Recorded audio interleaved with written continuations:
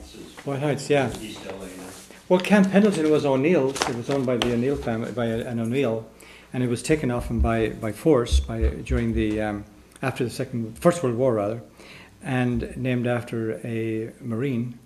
Uh, uh, I've forgotten whether it was Colonel or whatever uh, Pendleton, who had got shot or something. I don't know. So the Irish were not ever memorialized in uh, as they should have been. I think um, here, right here in San Diego and in all up and down uh, uh, the, east, the west coast. But I think particular well that you can't you can't deny them San Francisco. I mean they own San Francisco.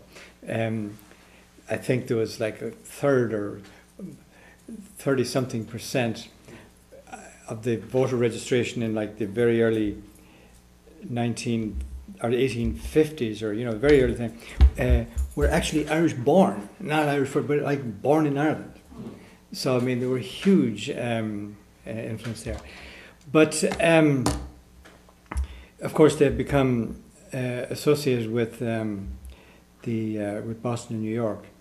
Um, but um, I, I, I think they made a bigger impression in the Midwest coming in through Canada at an earlier stage, and you know, more broad spread spread. Um, um, I'm from central Illinois. Yeah. And every, well, my family, when they came from Ireland, I mean, I have a hundred-year family farm hmm, that has been in my family for, for a hundred years. There you go.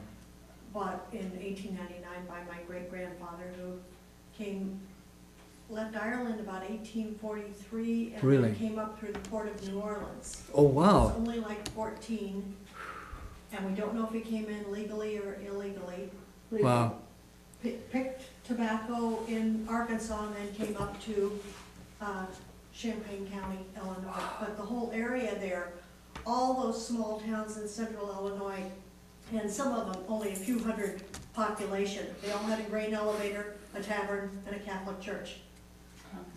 And- they still do. And they still do. To this day. Well, he was a survivor of all survivors if he survived New Orleans because the Irish were brought in and they were building the levees and uh, they could allow them to die. They replaced slave labour because a slave was an asset, it cost you money. The Irish, get another one.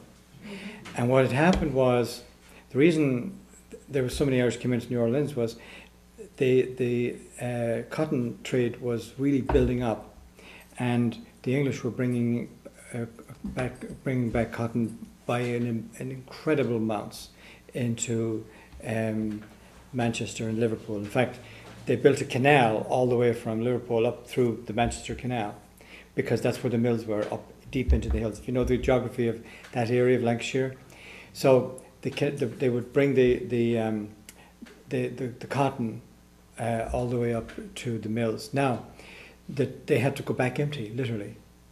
So you could get uh, on a ship going to New Orleans. They weren't going to New York.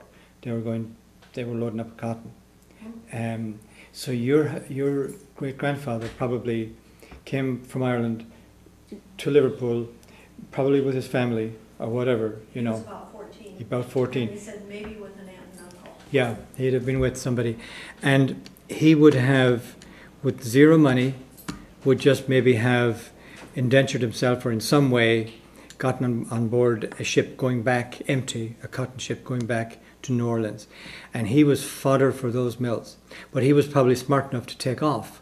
But he was tough enough to survive too, because if he had stayed in New Orleans, he would have died within a month the the average li- uh, a- lifespan for them once they got there was literally about a month, and they didn't care because there was plenty more coming from. There was more every both the, huh? I, I don't have her, the, the, oh, she said, did he marry an Irish girl? He, Ah. he settled up in central Illinois. Uh-huh. It's some of the richest farmland Yeah. in the world. Well, he was a, he was a smart kid.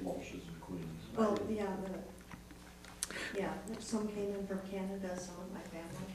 But how he got up there must be a heck of a story in itself. Yeah. And again, he probably I have a, an old book yeah that he wrote he didn't spell right Yeah. because he didn't have much schooling. Yeah, But he apparently, he went up, I know he went and picked tobacco in Arkansas. yeah. And then he, we- he had an old book where he wrote in the margins, somehow he made it to San Diego. Because What? it's written Colonia de San Diego Wow. in the margins, that he wrote just little notes. I have that book. Holy mackerel. Before state was from. He went, and then he, and then ended up in Illinois? In Illinois. Wow, what a character he must have been. I- I- yeah. Huh? He had two wives. He was from Cork, was from Cork. He was from Meath. Meath. Royal Meath. Wow, that kid was, that he was some survivor. Wow, he knew exactly what not to do. And he kept going. So he, wow. Did he ever join the military? Because he might have been in, in, um, in, in uh, Kearney, General Kearney's army, the Army of the West. Because most of the people, huh? I don't know. Yeah, I don't know. because most of the Irish who came out during that period, remember the Army of the West under under Kearney was, I think he said almost hundred percent Irish. I mean, it was nearly all Irish, uh, and they were the ones who, yeah, who, who essentially, um, Mexican Yes, War. Yeah, yeah, yeah. The Army of the West. Um, and of course, camped out here in what is now Miramar. It's still, well, Yeah. Kearney Mesa, that's where it's named after, you know. You know he was buying farmland in Illinois in the eighteen nineties. He was. Quite exactly. Yeah. But he had some Okay. before he got the farm that I had. Uh, What was that first one lot?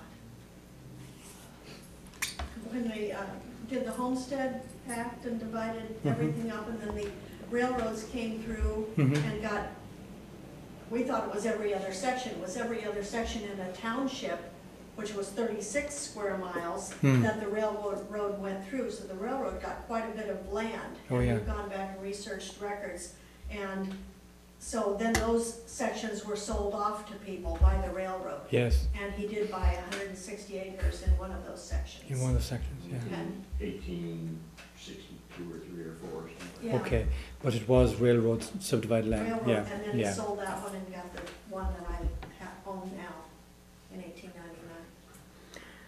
Well, he must have been associated with either the railroads or the army, mm-hmm. probably both, because a lot of them did that.